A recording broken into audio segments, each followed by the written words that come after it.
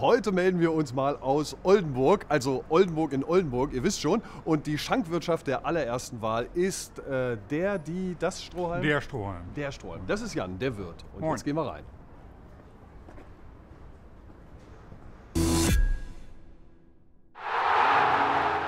Hier ist Finn. Sensationell.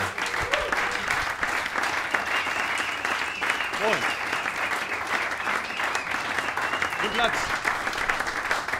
Mein erstes Idol war Michael Ballack. Ballack. Warum Ballack? Ja, weiß ich jetzt auch nicht mehr, warum eigentlich, aber das war damals so, als kleines, kleiner Junge. Mein emotionalster Moment als Fußballer war. Äh, das erste Tor für Werder. Haha. So. Welches Spiel war das? Weißt du es noch? Du nicht das mal so- das weiß ich. Nein, aber, nein, gegen Leverkusen. Ja. Aha.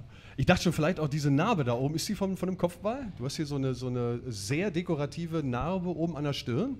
Also das ist eine witzige Geschichte, das von meiner kleinen Tochter. Ehrlich? Attacke Nein. mit den Zehen, ja. Mit den Zähnen? Boah. Guck mal, da wäre jeder deutsche Burschenschafter wäre super stolz auf die Narbe. Ich hätte sie auch anders erzählen können, die Geschichte. Die jüngere Tochter womöglich noch. Ja, die jüngere. Die Mit Milchzahn. Auch, ja, Boah, mit du hättest tot mit sein dem können. einzigen Milchzahn. Wow. Echt? Na, die Narbe ist vom. Äh, komm, gibt's gar nicht. Nee, ich meine die dicke hier oben. Ach so, nee, die ist vom Blumentopf. Wie, wie ist das passiert? Ja, als Junge mal von der so. Couch gefallen.